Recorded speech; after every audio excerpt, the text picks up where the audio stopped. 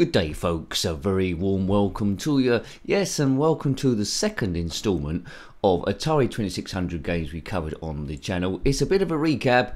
Uh, they're all in a playlist there, review games playlist. I think it's called, or something quite imaginative. Anyway, let's get going. It's a recap of all the Atari 2600 games covered on the channel, uh, 51 through to 100. Soul of the Beast is our first game. It's a homebrew influenced by games, uh, well, the game Shadow of the Beast, which I played heaps on the Commodore Amiga.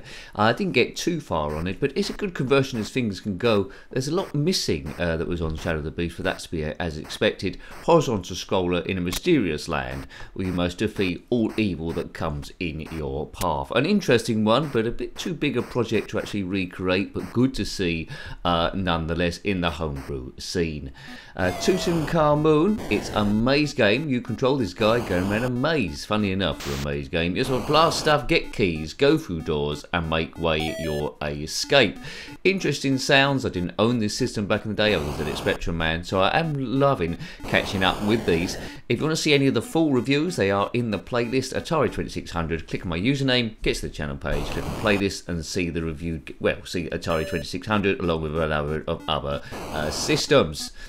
Straight from the arcades, it's Spy Hunter, a game I played excessively on the ZX Spectrum, which wasn't the best version really, but I grew up with it, so I loved it. This one is doing quite well. The uh, Atari 600 is doing good. It moves at a hell of a rate. A vertically scrolling uh, racing game where you I like James Bond, but it's James Bond without the uh, Pacific license uh, from the arcades. Of course, you can uh, turn into a boat if you go down the right uh, channels, and you must go as far as you can before like the time runs out or you lose all your lives. Get your pickup vehicle.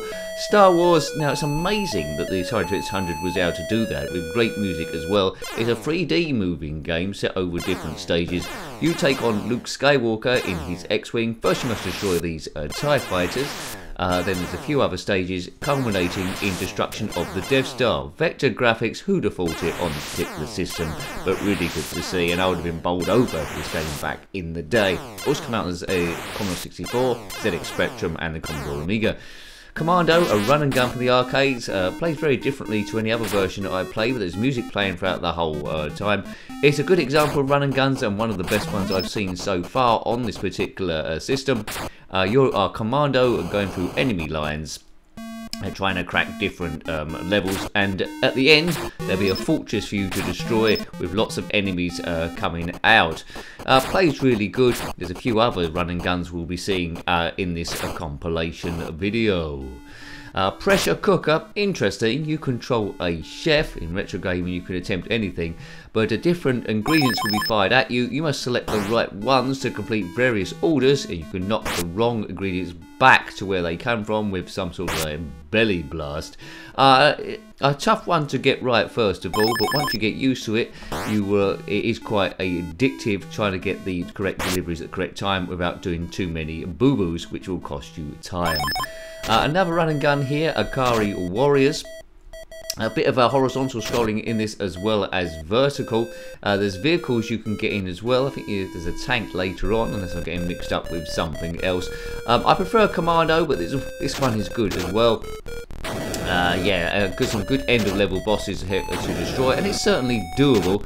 Uh, get the idea that you can complete this game. You've got a gun, you've got a hand grenade, but most of all, you've got different colours in that sprite there going up and down the screen. Hooray for Ikari Warriors. Klax, a bit of puzzling. You might have seen reviews of this on other systems, but the gameplay is more or less the same, although the graphics are slightly different. You've got this uh, paddle, which you must uh, collect these rectangular blue shapes and different coloured shapes there. Uh, you can hold on to them, but um, there's a grid below, and for any three you get in a row of the same colour, they will vanish. Uh, different um, stages, you've got to do different things. It might be like uh, uh, five lines, six lines, diagonals, and all that sort of stuff you need to do, but cue that up, and you'll be racing through. Video chess, yes, it's chess. Uh, wouldn't be any uh, computer system without a game of uh, chess. Uh, it's not using too much of the screen here, which is uh, one complaint. It's a little bit diddly, but you, if you're into chess and at Atari 2600, this is an obvious thing to uh, do. the computer AI is not too bad. Uh, you can play it on different levels, but the, the, the, pieces aren't solid, which is a bit of a letdown there. But anyway, and there's mini games in there as well for some reason. Hmm. Uh, miniature golf. Now, this is very retro. It hasn't aged particularly well. But uh, using this blue square uh, as just like lining up the ball, we can select our power and we're to blast this uh, green ball, although it does uh, vary uh, to the hole. It's like an arcade sort of golf. There's obstacles going backward and forward, as you can see from that magenta box, if you get the idea. But they don't make games like this anymore, and probably for a good reason. But classic retro uh, stuff. This system is from the 70s, you know. These games are from the 80s. Another run and gun for you. Uh, front line moves a bit quicker uh, than Ikari Warriors and Commando. And, um, you know, I completed this on my first or second go, so it's not particularly um, difficult uh, there. But if you want something easier, and Commando or Ikari Warriors was frustrating you, then this might be the one to get. Or if you into running guns in general, yes, get this one. It's lesser known than Commando and Frontline, but uh, a worthy comparison. Two, the stages are different enough from those other two games. Uh, here's another golf game. This time you got the guy on the on the screen doing the swing. It's a little bit more tricky than miniature golf, but it tries to be more of a simulation there. Here we are on the putting green. Uh, I don't know why he's got his stick up that high, but there we go. Uh, am I going to get it? Am I going to get it? No, he missed it with a swipe, and that counts as a shot, I think. There we go, it's in. Kaboom! It's golf, it's proper golf. It's not magically named, but it is golf nonetheless. Uh, you could have played this a lot on your own. Uh, Dark Caverns is a pretty good uh, maze sort of game. My favourite ones of these is the Alien. Uh, there we use like a Pac-Man sort of clone, but this is uh, the similar sort of thing. We've got this guy running around the screen, uh, collecting bits and pieces, collecting guns, and trying not to get uh, killed. Good stuff, good stuff. It's one of the ones to get, I think, if you own the system. If you thought Pac-Man was a little bit too generic for you, then here's one instead. Dark Cavern. It's not that dark, but anyway, uh, the graphics are quite smooth. Uh, boxing. Uh, very, very basic game. It's you against a computer or a player tool.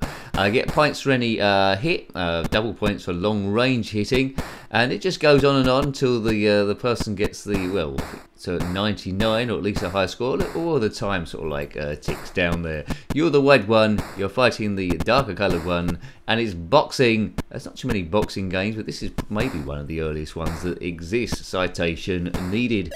Straight from the arcades, we're looking at Joust here. This is the first Joust game I actually played, which um, um, set me on playing other ones on different uh, systems. But this is pretty good. Uh, it does basically what Joust does. The graphics are a little bit flickery, but not a great deal. And the controls are quite nice to play, so it's instantly playable. If you're used to Joust in the arcades, this one will be, uh, you know, uh, give you a fair representation of what that game was. Different stages, uh, joust the other ostriches, don't get killed yourself, you win by, um, there, here we go, Spider Fighter. What a name that is, Spider Fighter. You're a spider and you're fighting other stuff uh, to collect fruit for some unknown reason. Uh, maybe it's aliens versus some sort of like um, polytunnel fruit patch. But it, it, it's, it's, quite good. Um, the gunfire as you can see, moves left and right as well after you fire it, is a little bit odd. But there are quite a lot of shooters on the um, Atari 2600, and this has got those great earthly sounds which I've come to expect. So I could recommend this one. Um, Fast Eddie, a platformer there. Here goes Eddie. He must collect various uh, hearts or shapes that uh, turn up on the screen from one to uh, another. And once we've got enough, we can collect that key, which is held by this silly Wally up the top there. And then it's on to the next stage. Biff, there you go. And that's that one done. Is Eddie. He's first. Uh, so respect what he has to say. A really nice game. Classic game. None of these have aged particularly well. Here we are collecting fish. But it's all about nostalgia. You had these games back in the day, or even if you're a historian looking at retro gaming, this is a system to definitely look at. River Raid 2 uh, from Activision. I prefer River Raid 1, that had it going on. This isn't really a river, it seems like a great expanse of sea, and occasionally we must, um, I think, land, unless I get it mixed up with the third one, which is an unofficial release, which we'll come to uh, soon. So, you know, if you like River Raid, want more of a challenge, it's River Raid 2. You sort of like know what you're going to get. You need to refuel, you don't want to crash into anything, and you want to survive as long as possible. But River Raid 1 for the win, really. Uh, no, look no further. Pengo, another arcade conversion uh, there. Uh, push blocks out the way, flatten all these sort of guys, and unlock stuff. And that's it. The mu music on this one will drive you quite insane. It will drive you utterly crazy. It's probably going to drive you crazy, even this 30 seconds bit of footage that I'm going to show you now. As I said before, if you want to see the full review, uh, it's nonsense gameplay, nincompoop chat, and the channel doesn't take it too too seriously. as we stress and burst. Carnival, another arcade uh, shooter uh, type one. Please consider subscribing if you haven't already. That keeps the channel uh, going. These videos take a little bit longer uh, to put together, so I hope you appreciate it. It's like an index to the channel, just recapping where we've come uh, so far. Uh, there's a few different versions of this game with different names on other systems, but this one is fairly solid. I would got quite bored of it quite quickly as a kid, but there you go. It does essentially what it says on the tin. Pepsi Invaders. This is a reskin of um, Space Invaders. There wasn't too many of these uh, about, so I'm not quite sure how much it is worth. It's, uh, it might be worth a pretty penny. It was given to executors of, um, or workers of the uh, Pepsi Cola. Uh, in some sort of conference somewhere, so many of them might not have played it or even thrown it away or given it away. So it wasn't actually given to actual necessarily to solid gamers. Instead of the Space Invaders coming down, it's the Pepsi sign, and at the top there uh, it says um, uh, Coke wins. It, it might have been the Pepsi, it might have been Coke they gave it to. It's Pele Soccer. Uh, soccer doesn't get too much more basic uh, than this, but you control three players who always stand equidistant from each other, uh, two defenders and a striker. And you just boot this square ball, hope it don't cut my feet, into the goal. But different times, it's got the, um, well, it's got the license of Pele, but there was a, another version that didn't have the license of Pele, so I'm not sure what's going on there. And it's a goal! Yay! And a nice, nice um, celebration event. Pigs in Space from the Muppet Show. Pigs in Space. Three basic games you can play. You don't have to play them all in any particular order, but this is my favourite one uh, where you're going up in this ship that looks a bit like a vase with a funny face on it through these actual caverns while these gonzo sort of alien creatures are firing at you. It's a nice fun game and uh, kids who are fans, are fans of the Muppets would get quite a good fun out of this. So, uh, some games are easier than uh, others there but it's got some good bits to it. Gauntlet, not to get confused with Gauntlet from the arcades, this is more akin to a Temple Run which comes much much later on phones and apps. But you've got this guy with a silly hat on and he must run and run and run on this forever vertically scrolling screen, uh, jumping over stuff and not getting hit. Uh, the longer you go, the more points you get. Here he goes, run, run, run. How far can you potentially get? Good stuff. I was addicted to Temple Run back in the day, and this one, yeah, it's got elements to it, although it's 2D rather than 3D. Gauntlet, not to get confused that other Gauntlet game. Uh, Gremlins, based on the movie Gremlins. It's two stages, but uh, both both of them uh, involve you catching like um, mogwais or these gremlin creatures who will try and eat hamburgers and stuff. The first one, it's the uh, the nice gremlins. The next one's it's the horrible gremlins in a different sort of like guise. It's interesting, it keep you entertained for a little bit if you was a child, but as an adult I'm not quite sure how much longer it would go. Here's the second stage here, and this one involves shooting the terrible gremlins because they've either been fed after midnight or they've got a bit wet. River Raid 3, this is a homebrew, so it's an un unofficial um, uh, River Raid sort of like game, but again it's uh, similar in vein to more or less the uh, second one. Instead of a river, seems like there's a big ocean we're going over, and why not? I'm glad it exists. I think the uh, the outlet that done this are from Brazil somewhere, so they're obviously River Raid fans and want to get more um, uh, mileage out of it. So it's a sequel that didn't really need to happen, but again, it's got some nice touches to it the others didn't offer. The background changes colour every now and again. Uh, Battlezone from the arcade. It's the only game of Battlezone that I know is not uh, polygons, but it plays quite well. Uh, if you're unfamiliar with Battlezone, you're a tank going through the enemy territory. We must locate enemy uh, tanks and blow them up before they blow us up. You've got this radar on the uh, the top middle there, which will help you guide where the enemies are. Uh, you've got to keep on moving, or else you get blown up quite quickly. And there we go, I've got blown up there to uh, Kaboom Town. Biff, it does feel quite pleasing. Uh, Canyon Bomber, a little bit confused in this. It's you against the computer, and you must basically score more points by dropping your bombs and destroying all these things below. Man, it's a little bit confusing. It's not um, okay on the eyes. Probably best uh, in a two-player with a human player to play against, as a lot of these were. As soon as all the blocks are destroyed, whoever's got the highest score is declared the winner, and that's about it really, and you can fight it out amongst yourselves. We go to arcade territory now, Centipede, uh, there. Uh, you control this, well, in a lot of versions it's a, it's like a, a, a snake down the screen, but then we must um, shoot the all the uh, elements of the uh, centipede body coming down the screen.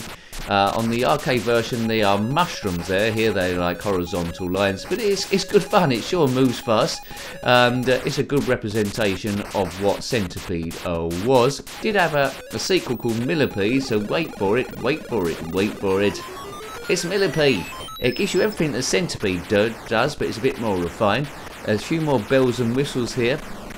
Uh, for a few different enemies, you've got the spider and uh, the flea. Uh, you've got different colours when the screen changes when you complete all the um, all the body shots. Millipede, uh, you know, it's, it's a slight expanse over um, uh, Centipede there. So it's a little bit more exciting. Uh, there's enough different, I think, uh, to warrant the purchase if you had Centipede before. Gyruss, now this is game's absolutely amazing. It's one of those games where I think, how the well did it happen? on the Atari 2600. The music is good, the speed does no slowdown considering that, but your ship moves in this like circular motion uh, around all their enemies coming at you, avoid getting shot and take all of them out. Not to dinner, as we always say. Kaboom! I first played this on the Commodore 64 I think. But uh, this this is great. This is a must-have if you owned an Atari 2600 Gyruss. What a quality game that is. Mousetrap, a maze game influenced by uh, Pac-Man. Again, like Pac-Man, you must collect all these uh, pellets there. But what makes it different is by selecting um, different controls, you can open and close gates uh, there to try and plan your attack uh, these cats try and attack your mouse. If you get uh, a certain power up, you can turn into a dog and, um, well, chase all the cats away. It's a nice one. I still prefer. There we go. There's a dog. It's a nice one. I still prefer uh, Pac-Man, but this is a good variant of it, and this came out in the arcades as well. Yars' Revenge, a very popular game. It featured in a lot of people's top tens who own the system there. Uh, we must um, power up uh, uh the, the, ship by um, collecting those um, side pods there against the aliens and then uh, shoot from the other side to take them out. If you didn't uh, have this game back in the day or had no instructions, it might seem a little bit confusing, but it is a nice game nonetheless. And that thing down the middle gives it its own super vibe. Kabiff! There we go, that's him destroyed. Q*bert, another arcade conversion, 3D. This was to influence uh, a huge amount of games there, but controlling Q*bert, uh, jump on the uh, squares or the top of the cube to change to a different colour. Once you've done all of that, it's on to the next stage. There's some handy lifts either side, which in the review I wasn't quite aware of what they were for. Uh, that you can teleport to the top of the screen, or get a lift to the top of the screen to avoid enemies if they get you in a tricky spot. Different colour squares for each level, but the gameplay remains uh, uh, more or less the same. Uh, Skydiver, quite a basic game here, but you collect points uh, depending on uh, how accurate you land on these bases. One to two players again, um, you have more fun against a human player rather than the um, uh, computer. But here I go, you get scored out of 10 depending on uh, when you release the um, parachute. I think you get slightly higher points if you release earlier or later, one of the two. There we go, biff. So the, the idea is to score as high as possible uh, there. Uh, space Jockey, another space fighter. You can take the part of the aliens this time, trying to destroy uh, Earthlings. Here they come with their helicopters. Lots of nice colours and vibrant sounds. It's a no-nonsense horizontal scroller shooter, which mo moves really well, uh, uh, sounds really well too. There's different modes of play, and I was a big fan of this one. Space Jockey, I think it was played due to a recommendation. I wouldn't have known about it otherwise. Every time I get a recommendation, I do write them down, and eventually I will come from. Eventually. Doctor Who, Dalek Invasion. This is a reskin of the original release of Berserk from the arcades. This time you play, uh, I believe it's the Tom Baker version of Doctor Who to the Fourth Doctor, and instead of uh, shooting robots, uh, you're shooting these um, Dalek things. But other than that, it's exactly the same. Um, it's a random screen each time you come across it. Whenever there's a Doctor Who game, it always seems to be uh, the Daleks that you're uh, fighting. So long may that uh, continue. Oh, how Doctor Who and his Dalek people. This one's called Kaboom. Um, it's a little bit different to the arcade uh, game, but this this uh, naughty uh, villain guy at the top is dropping bombs, and we must catch them on our little tables here. If we miss one, we lose a table until they've all uh, virtually gone. I think they're tables or traps. Gets quicker and quicker. You can control this via paddle. I'm doing it by the mouse here, so a paddle is probably um, a little bit better for a bit of speed. If you're doing it on keyboard, you're going to be in big trouble, big nose. Uh, it's Road Blaster. It's a uh, homebrew, I suppose influenced by games like Spy Hunter, but more often a, a game called Road Blaster, which we've seen in 3D or Road Blasters. Uh, avoid the enemy, uh, collect health when you see it. Don't bump into them. Yes, uh, as soon as you're dead, you're dead, and that, that goes for any sort of like game, really. Uh, unless it's a game about the afterlife, which I immediately can't think of one. So it moves quite fast, but it's, it's pretty tricky. Uh, there's not much variety in it, but it's okay. Vanguard, a horizontal scroller shooter, which sure looks nice due to the rainbow colours it uses there. Uh, different modes of play. First of all, you've got this vertical scrolling shooter bit. Uh, nice music playing, then it goes into a vertical scrolling shooter bit, either up or down. Yeah, this music would inspire a kid's amazing imagination, and you do feel that you're actually getting somewhere on this. There's different ships to shoot via each stage, and if you go right the way round, uh, it will get a little bit quicker each time. Energy there, energy bar on the bottom.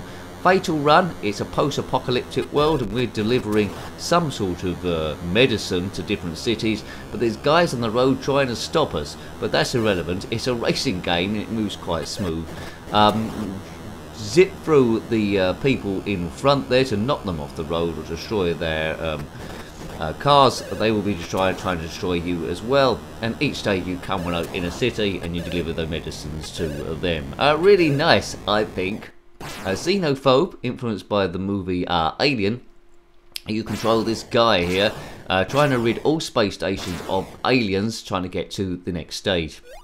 I think it's split screen in two player if someone else is there. I think you can see Xenophobe just going up and down. Or maybe it isn't. Watch the review. I'll probably give you more information there. Did I tell you it's dodgy gameplay nonsense, Jack? Well, we're playing for a laugh. And this is just a recap in the good old index page. Hooray for us. Do check out other compilations. There are a few. Frostbite.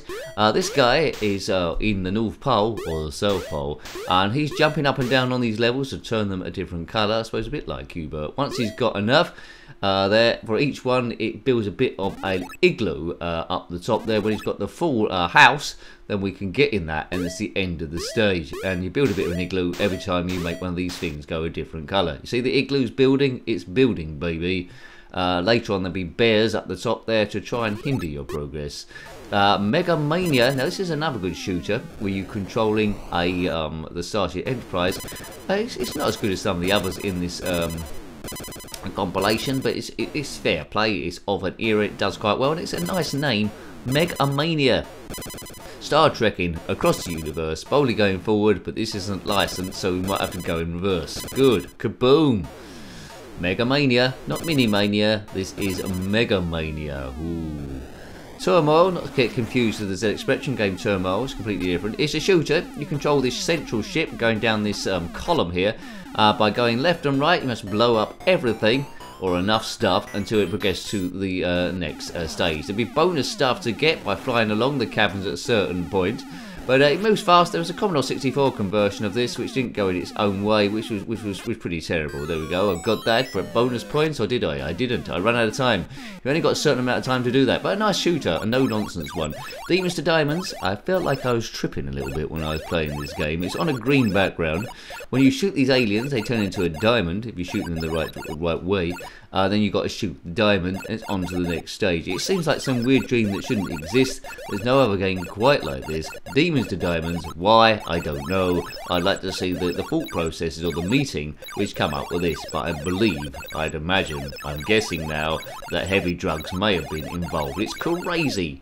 Mountain King. Now this is good. You don't see games quite often like this on Atari 600 and that is because it's scrolling it, if you go over one side of the map, it will scroll back onto it, so it's continuous. But you're in a pyramid, and you must find a key uh, to unlock something or other, uh, and then take it to the top of the pyramid, and then uh, there. Uh, there's a big spider down the bottom of this thing, so if you fall down and get caught by that, it will entwine you, and it's Doomsville for everyone. Yes. E.T. the Extraterrestrial, this was uh, quite a notorious game, but it's a little bit better than I thought it was going to be. It's no worse than a lot of games in this uh, combination. Apparently too many of these were made and they were buried along with a number of other games, but you know, when I'm playing it, it's not it's not overly hideously bad. It's, uh, it's got some concept, but E.T. must collect three parts of some telephone uh, so then he can call home and get rescued. He falls down these pits a lot, I'd have to say, but there's a question of um, levitating your way out of there, and people, some people might not have known how to levitate, but stuck in the pit all the time. Frogs and Flies, another one of these one to two player games, better with a human player, but anyway, it gives you a full um, day to night cycle here. This is you get extra points or point every time you catch one of these flies. You know, who's got the highest score at the end is the winner, and that's it. So if you ever wanted to be a frog on a lily pad, trying to eat as many flies as you can, competing against another frog on a lily pad, then this is the one for you. It's Lily Pad City, and I can't really think of any other frogs on lily pads games you might do. Amidar, what a classic this is, which inspired another load of games. It's from the arcades and arcade conversion. Basically, like Pac-Man, you must ring all of the uh, uh, get that all cornered off, avoid the uh, nasties there. As you've done that, that's good. I do have a look at Potty Painter on the ZX Spectrum, which was influenced uh, by uh, this one. I think we're playing some kind of monkey version, but you know, go around the whole maze, and there'd be more enemies or quicker enemies the further you get into this game. So really, really nice. So yeah, hope you liked having a look at that. There was a, so we've reviewed hundred Atari 2600 uh, games now, so that's a that's a fair number. I think there might have been more or less 600 or maybe slightly more games. I'm not quite sure. You might want to double check that, but I'm not sure we'll review all of them. But this was definitely them. So yeah, thank you for watching that. Uh, again, hope there's a trip down a memory uh, lane for you there. Please subscribe if you haven't already. That keeps the channel going, and thank you for your support there. Marvelous. So till next time, take great, great care of yourself, and a very fond goodbye. Goodbye.